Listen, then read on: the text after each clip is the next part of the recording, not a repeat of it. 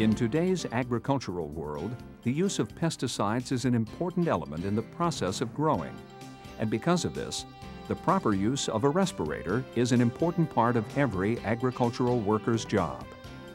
In this program, we will show you how to select the proper respirator for the job, demonstrate how to test for proper fit, describe maintenance procedures, and identify respirator storage procedures. All these steps are vitally important so that both employers and employees can breathe easy.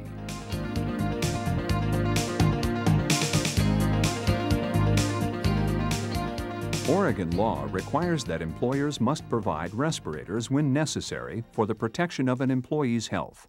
It is the employer's responsibility to provide a NIOSH-approved respirator for each situation a respirator is required and to set up a respiratory protective program that includes training in all aspects of respirator use. The first step in any respirator program is to make sure that each employee required to wear a respirator fills out a medical history questionnaire written with the assistance of a local physician or company doctor. The employee must be physically able to perform the assigned work while using the respirator equipment. Victor, why do you think it's important that we use respirators? When using pesticides in agricultural applications, it is not feasible to get rid of all contaminated air through engineering controls, such as fans or ventilation systems. Therefore, to protect employees from harmful dust, fogs, fumes, mists, gases, smokes, sprays, or vapors, a respirator must be worn. A pesticide can poison or injure you if you get it into your eyes, breathe it, swallow it, or get it on your skin. When you handle pesticides or work in areas where they've been applied, wash your hands with soap and water every time you take a break. If you don't, you may wipe pesticides that are on your hands or face into your mouth or eyes. Diseases caused by airborne contaminants may take years to develop, so it is very important to follow proper respirator selection and fit procedures now. Today we're going to look at four different types of respirators that are used. For the purposes of this video, we are going to look at four different types of respirators. The first is the dust mask. It offers protection from small particles in the air. The dust mask covers the nose and mouth to filter out dusts, mists, powders, and particles. The level of protection offered by the dust mask is limited. The half-face respirator uses filters and sometimes chemical cartridges to remove dusts and mists and to absorb harmful vapors or gases. These chemical canisters and filters must be checked regularly and replaced as often as your working environment requires. Like the half-face respirator, the full-face respirator uses chemical cartridges and filters to protect you from harmful substances. It offers added protection for the eyes from spray chemicals. What we call a helmet respirator. A helmet respirator, sometimes called a hood respirator, is used when workers are subject to chemicals and substances dripping on them from above. The respirators have their own air supply. Another reason for using a NIOSH-approved helmet respirator is the ease of obtaining a proper fit. The seal is made around the neck, not the face. This allows a good fit for people who may have facial hair or other conditions affecting the proper fit of another kind of respirator. It is the employer's responsibility to choose the proper respirator and filters for their workers. The choice is based on the task to be accomplished and the exposure to contaminants. However, it is very important that you, the employee, take responsibility for your own health and safety. During training on the selection and use of respirators, Ask your employer about anything you don't understand. Handle the respirator and become familiar with its parts and how they work. Remember, it is your health at risk. Now we're going to take a look at the different types of filters that are used on the respirators. The filter is what catches the particles of dust, fumes, mists, or vapors from the product being used. It is the barrier between you and the chemical being applied. Without it, you are not protected. Because it is your health, it is important that you understand how filters are organized. Filters are organized into color codes. Each color filter is designed for different uses. Again, it is the employer's responsibility to provide the proper filters, but you need to make sure you understand the color system also. For example, a black colored filter is for protection from organic vapors, such as pesticides. For further protection from particles, dust, and mists, you may also need a pre-filter. Remember, it is also your responsibility to make sure you are using the right filters for the job. So take the time to check each filter. Filters need to be changed on a regular basis. How often is based on the length of time they are used and the type of contaminant they are protecting you from. You, the employee, need to be aware when a filter is not working. You will know it is not working when breathing is difficult or you smell or taste the product being used. If it is not working, it is time to change the filter immediately. Okay, now let's go through the procedure for donning or putting on the respirators. Ramon, could you help me with this procedure, please?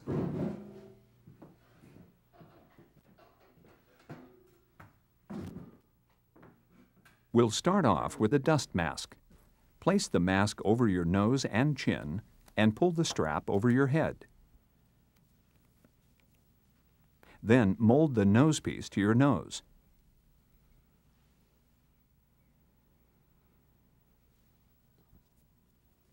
Before donning a respirator, it is important to always do an inspection of the parts to make sure it is working properly. Make sure that the filters are correct and snug in place. Are all the valves in place and in working order? Look at the face seal. Is it clean? Are there any tears or distortions? Check the straps. Are they in good shape? And are all buckles working properly? When putting on the half-face respirator, always work from the bottom up. First, place the chin strap around your neck. Then put the chin cup firmly under your chin and move the strap into place. Now place the face piece over your nose and make sure the face seal is snug. Then adjust the straps for a comfortable fit. The fit should be snug, but not so tight as to distort the face piece or wrinkle your skin. When donning the full face respirator, follow the same inspection procedure as just described. Also, check to make sure the face shield is not cracked. As with the half-face respirator, place the chin strap around the neck, then position the face piece over your face and the head straps over your head. Make sure all the straps are adjusted properly. The effectiveness of a respirator depends on a proper fit, meaning the seal between the facepiece and your face must have no air leaks. Several things can cause a bad seal or air leakage. Beards, heavy sideburns, scars, facial shape, dentures, and glasses may make it very difficult to get a good seal. In these cases, you may need to shave your beard, take off your glasses, or use a different type of respirator. Before donning the NIOSH-approved helmet respirator, Inspect it to make sure there are no deep scratches, cuts, or discoloration on the helmet. Make sure the visor is properly installed. Check the face seal for wear. And the breathing tube for holes, cracks, and breaks. And finally, make sure there is a sufficient supply of air flowing through the system. To properly don the helmet respirator, place the turbo unit against your lower back with the breathing tube extending upward. Fasten the belt around your waist at the front so the turbo unit rests comfortably and securely against your lower back. Plug the turbo unit into a fully charged battery pack and attach the battery pack to the belt. As with all respirators, refer to the manufacturer's instructions for specific procedures on inspection and donning. Once the respirator that you have chosen is on and feels comfortable, move your head up and down and side to side to make sure the fit is good and maintains the seal in all positions. Not all sizes and brands of respirators fit everyone. If you feel that the fit is poor, try another size or brand. Don't settle for a respirator that fits poorly. Once the best possible fit is achieved, there are two specific tests that you should do every time you put on a respirator. The first is called the negative pressure test. To perform a negative pressure test, cover the air inlets of the respirator and inhale slightly, then hold your breath for a few seconds. If there is a proper fit, the nose piece of the respirator should collapse a little bit. If you feel or hear air coming in around the facepiece, then you don't have a good fit and it needs to be adjusted. The most common place for leaks is around the nose and chin. The second test is called the positive pressure test.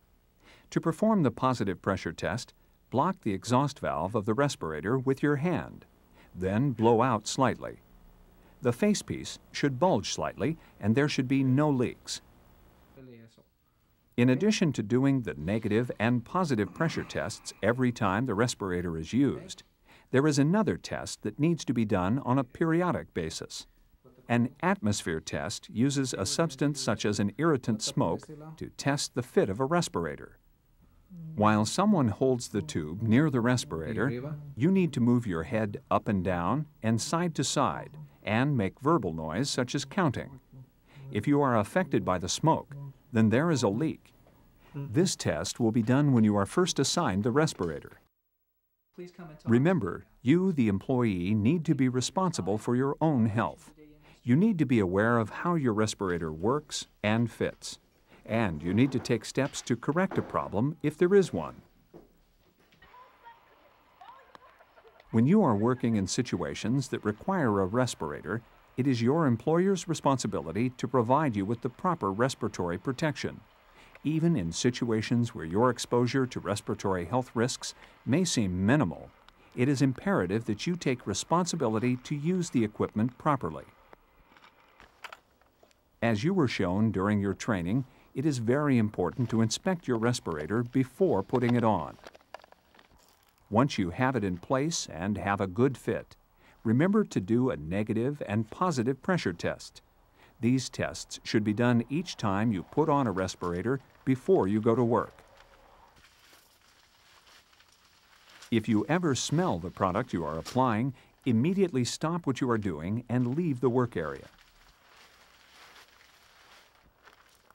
Readjust your respirator to correct the fit and do another negative and positive pressure test.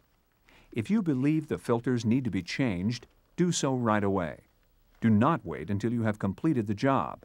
If you don't change them, you are just exposing yourself to danger. Always go through the proper donning and fit test procedures before using any respirator.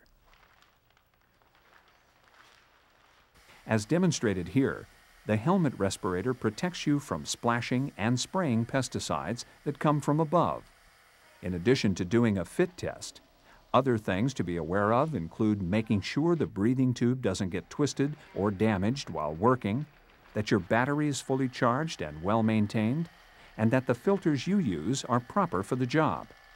As with the other respirators, if you ever smell contaminated air while working, leave the work area and either change the filters or inspect the unit for what is causing the leak. It is very important that you get into the habit of always inspecting your respirator before using it and doing a positive and negative pressure test before entering the work area. If a respirator doesn't fit right, or if it isn't working properly because of worn parts, you are not being protected from injury or illness. Remember, it is your health on the line. After every use, your respirator needs to be cleaned and disinfected. The first step is to remove the cartridges or filters from the facepiece. They must not be washed. These cartridges and or filters have been used and are contaminated. Cartridges need to be changed as required by your employer. However, the best way to handle used cartridges is to dispose of them and replace them with new ones. After handling them, you need to wash your hands. If the cartridges are going to be reused, they must be stored separate from the respirator. Next, place the facepiece in a cleaning disinfectant solution and scrub gently with a cloth or soft brush. Make sure all foreign material is removed from the surfaces of the rubber exhaust valve, the valve seats, and the face pieces. Then rinse it in clean, warm water and allow to air dry before storing. Take special care that the facepiece is kept in its natural shape. After the respirator is dry, place it in a clean, resealable container with your name on it. Then store the respirator in a locker or cabinet that is reserved for this purpose. They must not be stored in the chemical storage area. In cases where more than one person is using the same respirator, it is a good idea to mark who is the last person to use and clean the respirator and when.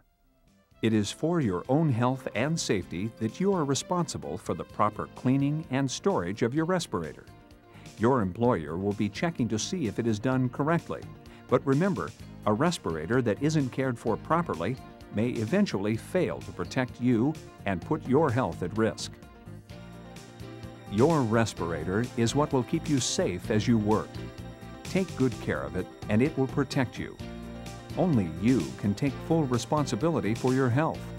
If you follow the steps outlined in this program, you can be sure that you'll breathe easy.